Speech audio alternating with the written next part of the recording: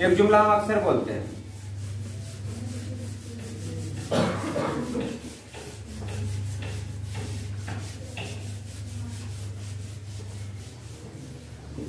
एक जुमला हम अक्सर बोलते हैं। मुझे काफ़ी इंतज़ार करना पड़ा। ठीक है? मुझे काफ़ी इंतज़ार करना पड़ा। इंतज़ार करना पड़ा। दूसरा होता है, मुझे बहुत इंतज़ार करना पड़ा। आप बताएँगे काफ़ी सही है या बहुत सही है? यहाँ पर हम बात करेंगे काफ़ी का, काफ़ी की बात करेंगे और बहुत की बात करेंगे। ठीक है? खासा। ये भी आता है। काफ़ी किसको कहते हैं?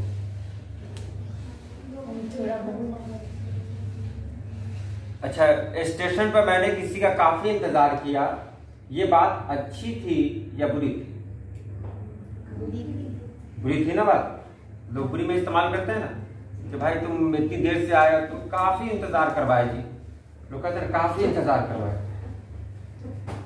अब देखिए ये काफ़ी का जो इस्तेमाल होता है ये निगेटिव में नहीं होता है मनफी में नहीं होता है।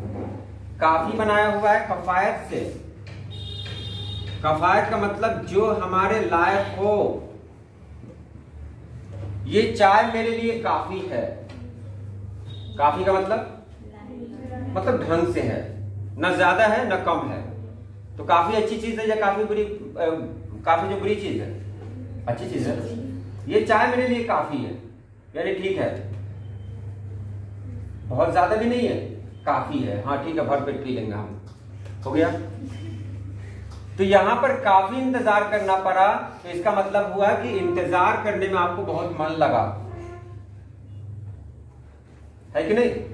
इंतज़ार करने में आपको बहुत अच्छा लगा।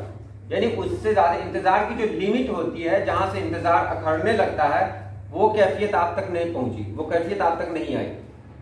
इसका मतलब ये होगा ना, ध्यान से सुनिएगा, तभी समझ में आएगा। कि यहाँ पर काफ़ी इंतज़ार करने का मतलब वही है कि इंतज़ार उतना ही किया जितना कर सकते हैं। इंतज़ार की हद होती है, कुछ देर तक इंतज़ार करते हैं अच्छा लगता है। इंतज़ार की जब हद होती है ना थोड़ा सा आगे बढ़ जाते हैं, फिर टेंशन होता है। पहले तो मने मन उसको बुरा भला करते हैं। खड़ा करवा दिया, पता नहीं कहाँ भाग गया।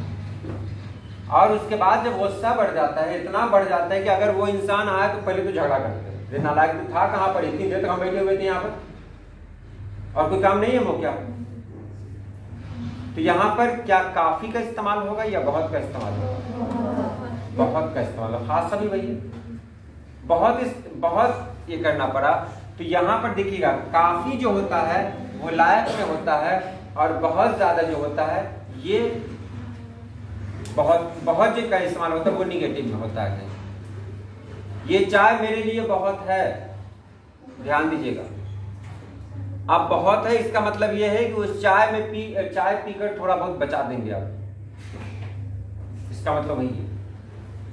और काफ़ी का मतलब है कफायत, यानी जो हमारे लायक हो, ये चाय मेरे लिए काफ़ी है। इसका मतलब कि हम उतनी चाय पी सकते हैं। जितनी पी सकते हैं, उतनी चाय हमको मिली हुई है। समझ में आ रही ना? बात नहीं आ रही है? तो काफ़ी का इस्तेमाल जब भी करेंगे हम लोग, पॉजिटिव में करेंगे। ठीक है? बहुत का इस्तेमाल ये निगेटिव में होता है। और नहीं, बहुत का इस्तेमाल वक्त के साथ बदल जाता है। मुझे बहुत खुशी हुई, हद से ज़्यादा खुशी हुई, काफ़ी खुशी हुई, क्या मतलब? उतनी ही खुशी हुई जितनी होनी चाहिए। बहुत ज़्यादा नहीं हुई, काफ़ी का एक लिमिट है। ये लिमिट मान लिए ये है, हम यहाँ पर आदमी है खड़े हुए ठीक है? काफ़ी का मतलब है इससे नीचे रहे। और बहुत का मतलब इससे ऊपर भाग जाए। ठीक है? मुझे बहुत खुशी हुई, यानी एकदम औकात से बाहर खुशी हो गई। और काफ़ी खुशी हुई, यानी औकात के अंदर खुशी हुई। समझ मानिए ये बातें जो आपसे कही, ये बातें आपको नहीं कहेंगे लोग।